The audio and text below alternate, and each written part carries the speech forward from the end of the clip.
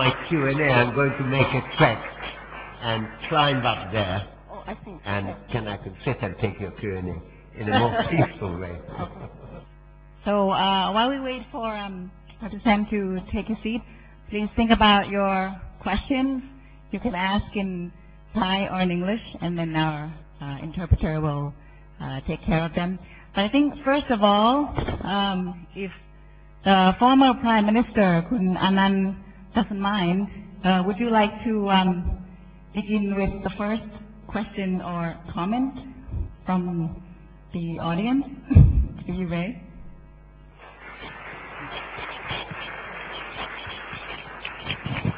Thank you very much. Uh, the purpose of my of my presence here today is to, is to listen, and uh, I do not want to uh, uh, use any time at your expense because I, I'm sure that uh, many of you would have very interesting questions, and we all await the uh, some wise. Uh, uh, uh, some wise um, uh, reactions and responses from professors and all I ask at this moment is that, as you know, I'm a person involved in the in the Reform Commission, and um, that quite a few cooks in this country. There are so many committees uh, set up directly or indirectly uh, by the uh, by the government.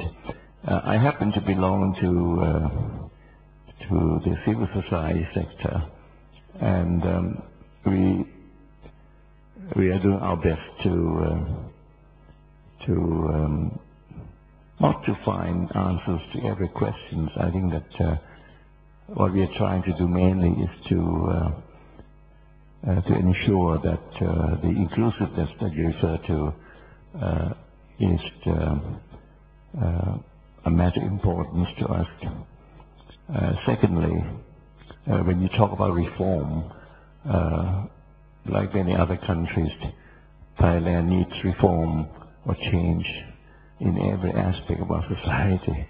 So it's, it's very, very difficult to find the starting point. Uh, we all know what the, uh, that the, the road is long and, and difficult.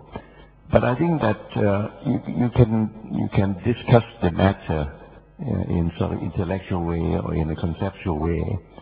But I find personally that the the most difficult task about any reform program or any change program in, in any society could be attributed to the the country's culture. Uh, and I think it's it's very important that uh, that our way of thinking is is often uh, um, uh, the product of the of, uh, of uh, historical factors and cultural elements and and social values. Uh, before you can start any reform program, you must make sure that uh, this is the uh, a view of the majority or it is a consensus because I don't think it's it, it would be productive to try to confront uh, any sector of the of the society or any set of values. The most difficult part is how do you change the value system? Uh, that's my first question. And secondly, uh, the values are of course based on on on many other elements, but the most difficult is is the the patronage system in Thailand. So I just leave these two questions for you. Thank you very much.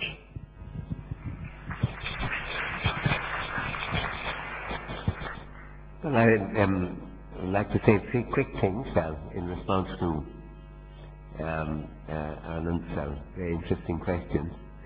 Um, first, that I think that this is really quite central, the idea of culture and the value changes and the system of patronage, the system of hierarchy, which is the characteristic feature of almost every country in the world. Thailand has it in its own form.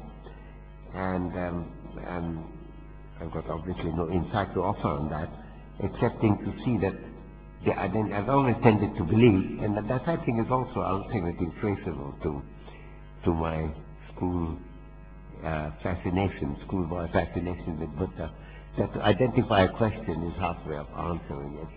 So you've identified the question, and in that sense, I, I think the real danger is when you don't identify. If I put on my um, uh, an economist hat, my problem at the moment with European economic policies, including that of Britain in particular, when suddenly they're cutting absolutely everything, uh, in a kind of attempt of suddenly eliminating deficit with a level of urgency which any kind of economic analysis indicates it doesn't need, including cutting universities and so on. And there I don't think the, even the problem has been rightly identified. But in contrast, what you're saying, Anand, is, is, gives me heart because it indicates that the problem is identified, even though it's a very difficult problem. So that's my first comment. The second comment is the, the, the fact that we, that inclusiveness you see as a central issue, and, and the reform is needed connected with that. I think that itself is very much the kind of line that I would like to pursue, so I'm also pleased about that. My third point is a personal one. I've always been proud of having known Anand since our college days. We were at Trinity together many years ago. Uh, I have to say it was always a wonder to see that Anand didn't seem to do any work at all and still seemed to do extremely well. so there is some kind of magic there. But I have been um, very privileged to remain in touch with him from my early days as a young man, and when he was a young man too. And uh, it's really wonderful that you could come. I know that you have gone through an operation which I've also gone through, which you all tend to do these days at our age. But you're looking fantastic, and I'm delighted. Thank you for coming. Thank you very much. Now we know uh, uh, secret when he was a student.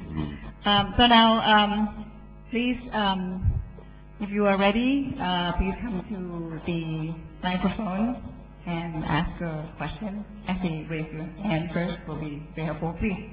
Uh, my name is Dr. Adam Rosenblatt, and I'm a child psychiatrist from Australia, and also a blog journalist, a little bit revolutionary. But the question I have in mind, I keep in mind Jared Diamond's Collapse of Civilization, the White Tiger of India, and also what is happening throughout the world today in crisis. I'm asking the question in terms of culture. The Indian culture today is, seems to be moving in the direction of Christian, Hindu, American ways in combination. Are they in decay or ascendancy? And I'm comparing it to China, which is a Buddhist, uh, Buddhist Maoist hybrid. Just a simple question, but very broad. Which is in the ascendancy? Is it India or is it China? Um, I have um, differ from many perspectives, but I agreed with Mr. Wen, the Prime Minister visiting India last week, saying that may be the wrong question, which is in ascendancy. Uh, because that, we, they're not in competition, and I don't think they are. I agree with him very much. I'm not, you know, I, you and I have to like, chat about that sometime, but I don't know that that the summary is right, that, that China is a Buddhist, Maoist, first of all, Confucianism is, I think, the biggest influence on them. If you look, if you go by statues and so on, obviously, Buddhism dominates because it's a very statue-building culture and very concerned with that kind of art form. And, and along with Hinduism, that you see also, whether you're looking at China, you're looking at, um, you know, uh, um, uh, Vietnam, Cambodia, uh, Indonesia, and so on. Um, but I think the Confucian influence is very strong. Um, there are issues of value there. People like uh, try to emphasize that there's a kind of focus on duty as opposed to freedom. I have disputed that, so we have argued on that. Um, these are not easy questions to answer, but I think one of the one of the things I fear is the summary statement we can make. I mean, if you say to say India is moving towards, say, uh, what did you say, Hindu, Christian, and American thing, that's quite a lot to combine, actually. Uh, I don't know that in some ways really work, but there, there are differences, obviously. Uh, in India, we're very, very concerned that things get done in China in a way that things don't happen in, in India.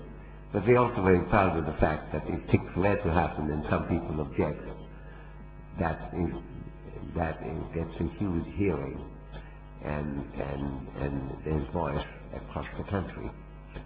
If there's anything or great thing that is being achieved in India, it's the is the giving people voice. And that's a big change. That's a cultural point too, to which Anand referred and, and, and which is related to your question. Because that wasn't often true. It's always the case, as I argue in my book, Argumentative Indian, that some people from the lower strata, from the low caste, as well as women as opposed to men, some people very powerfully had voice.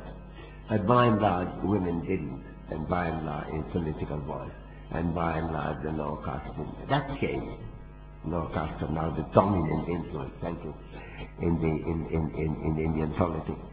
So I think there's a complex picture. I don't, I, am not interested who will be in ascendancy because I agree with Wen, uh, Prime Minister Wen, that that's, that's not, that's not a battle really. But there's something, I mean, India has learned a lot from China. I don't think India would have carried out its reform but for Chinese going in. As long as it's Hong Hong Kong, Singapore, even South Korea, Indians tend to dismiss it as being small. But when the Chinese suddenly thought that it can be played a globalization game to its advantage, suddenly the Indians were willing to sit up and listen. I think they influence each other. They're very minor ways. Indians also have an influence. In the past, of course, greatly uh, in the past, and indeed the, in up the Nalanda University, the old Buddhist university from 5th century, to, um, which was destroyed in the 12th, um, which was the oldest university in the world, and to which um, the largest group of foreigners, which included Thais, Koreans, Japanese, but the largest group were Chinese. Uh, in fact, the only center outside China where where the uh, Chinese intellectuals were ever educated in ancient China was in Nalanda and I'm chairing the governing body of, of setting it up. Dr. Prapod here, Chulalongkorn, is one of the members of this commission. Um, have been influences from each other. That interests me a lot. Maybe what can we learn from each other? So if you and I were to chat, I will try to argue with you that you ought to get off the which is an ascendancy question, but what we can learn from each other question. Thank you. I think uh, that doesn't mean that I'm not grateful for your question. I think you also have a question. Yes, right behind. Uh, my name is Mahesh Patel. I work where for UNICEF. Oh, Hi. Where, my, my is where? Hi there. Over here. Oh, okay, okay.